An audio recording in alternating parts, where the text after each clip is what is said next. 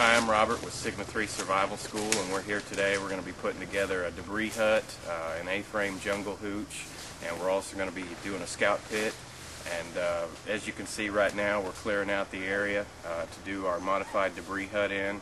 Um, right here, we're going to do it about body length wise. So when you're first starting the shelter, you want to lay down, you know, measure, find out where your feet are going to be, where your head's going to be, exactly where you want the door at. And uh, we always want to face our shelter south, or uh, not south, but east, so that uh, obviously the sun comes up, you can see the sun coming through the door, and it's also good for prevailing winds. Uh, we're going to clear this area. I'm going to build two A-frames right here. We're going to have the door over here, and we're also, the modification on this de uh, specific debris hut is we're going to have an internal heating system in it where we're going to actually build a rock pit and put heated rocks in there uh, during the winter when it's cold. Alright, we've got uh, a good portion of our frame up so far. Essentially we've created two A-frames. The other one's not up. We'll show you that in a moment. Uh, we're running a header that runs basically the whole length of the, the structure right here and there'll be another header that comes across. Now if we were doing this completely primitively with no modern tools whatsoever, uh, we've mainly been cutting live trees for the purpose of getting this done with some expediency. Uh, but if we didn't have any modern tools whatsoever, we would find, you know, just standing dead stuff. And what you can do in order to, you know, trim this stuff down to size is you just find a tree to use as a leverage point. And you just, you know, pick where you want to break it. You know, let's say we want to break it right in here and it's that simple. You just snap it off to the lengths you need for your ribs and, uh, and you're good to go. Now, another thing that we're doing here to make it a little bit more comfortable since this is going to be a permanent camp fixture and not full survival situation, uh, we're going to dig this base out and we're going to create uh, a little debris bed in here. And if you've never slept on a debris bed, uh, they kind of act like memory foam. After you sleep on them and they compress, it has a tendency to form to the shape of your body and they can be very comfortable. So we're going to dig this out probably four inches all the way down and to the front and fill this with leaves and, and different things that we can find in the forest. And over here, uh, this is the modification on the debris hut that most of you have seen on YouTube videos or wherever in other survival courses. Uh, we're adding an internal heating system into this shelter so that you don't have to cover yourself up and feed it debris in order to stay warm in a survival situation. So if we were going to camp out overnight in this, uh, we get us a fire going, uh, we take some smaller rocks, medium-sized rocks, and you fill this pit as deep as you need with rocks depending on the weather outside and after we get all our debris and insulation on there it's going to contain all your heat uh, throughout the night. If you've never slept with hot rocks before, uh, the larger the rocks that you heat up, the longer they stay warm, obviously. And, uh, you know, they'll usually last almost all night. And if you throw quite a few in here, it'll probably cook you out, depending on how cold it is outside. We got our, uh, our pit dug. We got our rock pit over there. That's where we're going to put our, our heated rocks in. And we went ahead and dug down about four inches in almost kind of like a mummy-shaped pattern and we're throwing our debris in there in order to make our, our, our primitive memory foam mattress, and uh, we're trying to get all the sticks out so they don't jab you in the butt, you know, when you are in there in the middle of the night, and because uh, that will happen. And we do try to, we will smudge this out eventually to get the bugs out. Um, and we're fixing to lay our frame over the top of that and as soon as we get our frame up we'll make our door and go ahead and cover it with debris and uh, it'll be a completed project. Hey guys, I'm Jerry Ward here with Sigma 3 uh, doing the shelter class weekend here. Uh, picking up where we left off last time, we we covered the entire structure with some some uh, limbs, ribs, uprights, whatever you want to call them. Um, give a nice rigid platform. And then on top of that, we cut some live green boughs off the hardwoods around here, a lot of oak, hickory, some dogwood. What that's going to kind of do is just knit everything together and cover up the entire structure and give us something else that we can then take the uh, leaf litter, pile on there about two feet deep. Um, the whole reason we're doing this so deep, it may sound like overkill, is because not only is that leaf litter going to compact and settle down as the air blows through as the time goes on. But it's also going to give us that much more insulative value, R value, raise the R value of the shelter, and it's going to give it that much more of a layer for the rain, the precipitation to filter through. So ideally, it won't actually hit you, you know, in your shelter. Now you, now you see this stick sticking up right here. We've got a couple of them over the top. You don't want to have anything protruding over the top of your leaf litter. Uh, these lower ones are probably going to be okay, given that we're going to put two feet on. But we need to take this guy off because the rain's going to hit this, run down that stick, work its way through all your layers, and still have this path to travel on. You'll end up with a drip inside. So we're going to work on that, get that whittled down. Next step's just going to be covering this thing up with leaf litter, and we're fabricating a door right now to close in on yourself so you can trap all that heat in from the hot rocks. All right, we've got our, our debris shelter covered up for the most part. Um, we're fixing to put our debris litter on top, which is our leaves. Um, optimally, we want a minimum of two feet of debris on every section of this. That will ensure that no water is going to drip through, uh, that it'll stay warm in conditions uh, down below freezing temperatures.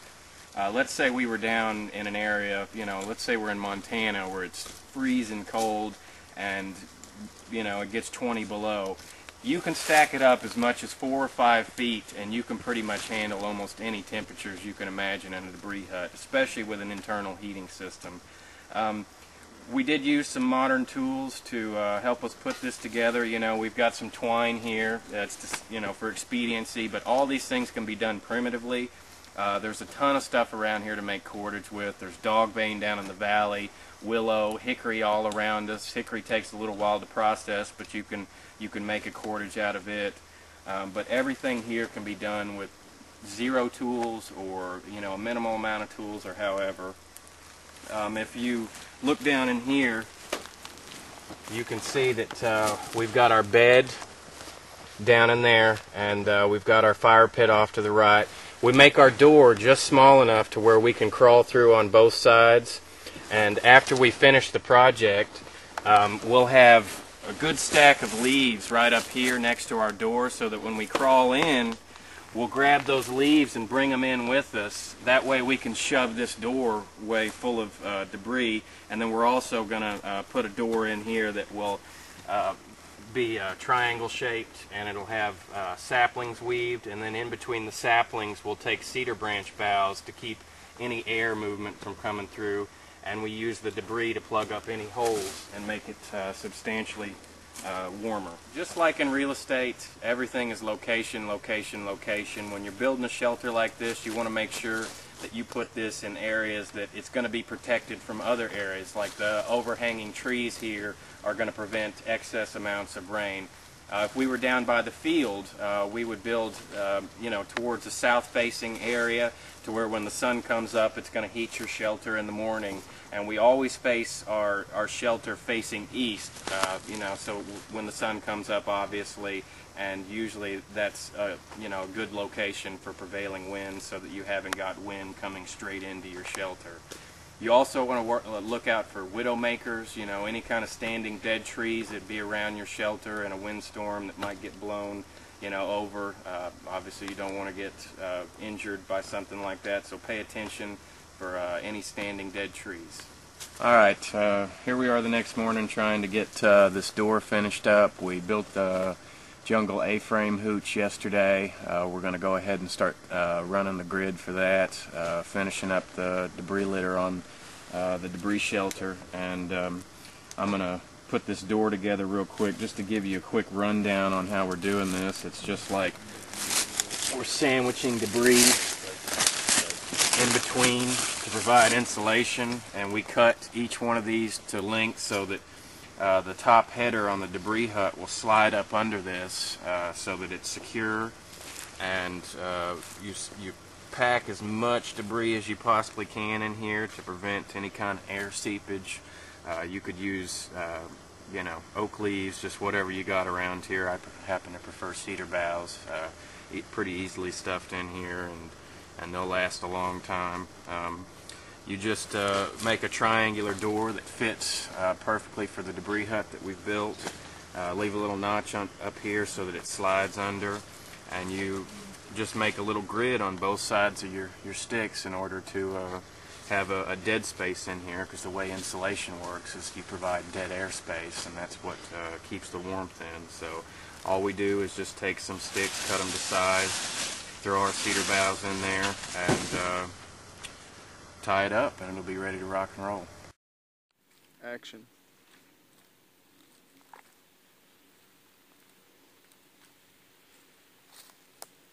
Hi, my name is Robert with Sigma 3 Survival. Uh, this is our finished debris hut. Um, it's a modified version. We got all of our leaf debris on here. There's a minimum of about two feet in every section. Um, if we were in an Arctic, you know, conditions, we'd be putting a little bit more on there, but this is plenty warm for Arkansas. Um, just to show you a little bit about the door construction and what we've got going on here in the front, we've got an extra heavy I've built in a, a little crossbar here so that we could put in extra insulation up here around the front door. And then the door is basically a triangle that we've sandwiched uh, cedar boughs in between. And it's built in a way so that um, when you crawl in, that uh, you can wedge the door. And I'll show you when I get inside why we want to do that. Always go in feet first.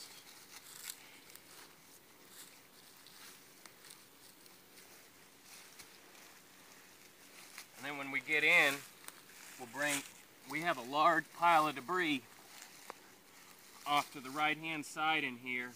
And if we were in really cold conditions where we didn't want any air to come in, what we do is we bring this door in behind us and uh, behind me and you'll stuff any any kind of cracks, any kind of little holes you see right there, you'll fill with debris. And the reason we build this door kind of difficult so that you can wedge it in is so that when you do start stuffing debris into it, it doesn't kick the door out. Right over here to our other side, this is where we built our, our um, little fire pit. It's not for fire. It's uh, what you do is you heat up rocks uh, in the fire and then you'll place them in here as many as you need in order for the conditions that you're in.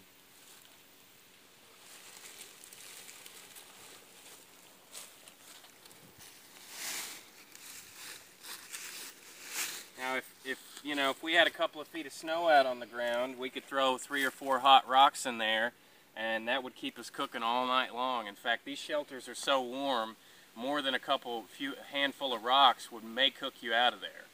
Um, sh show them the actual debris bed inside.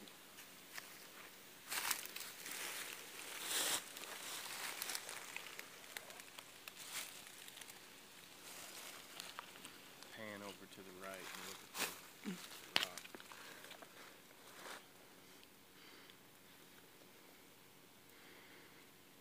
Pan over here to the right. The fire pit. Just kind of tilt it down and show them the fire pit.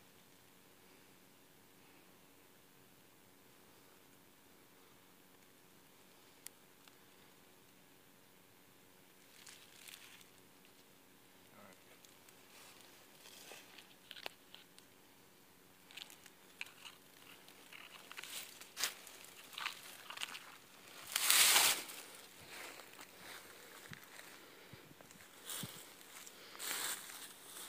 If you have any questions um, about how to build a survival shelter like that, just uh, drop us a line on our email and we'd be happy to you know, send you any pictures or instructional info on how to build this.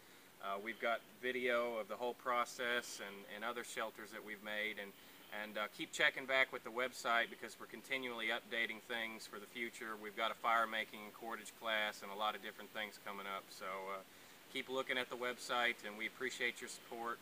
And um, like I said, my name's Robert with Sigma 3 Survival and uh, we're happy to have you all out here.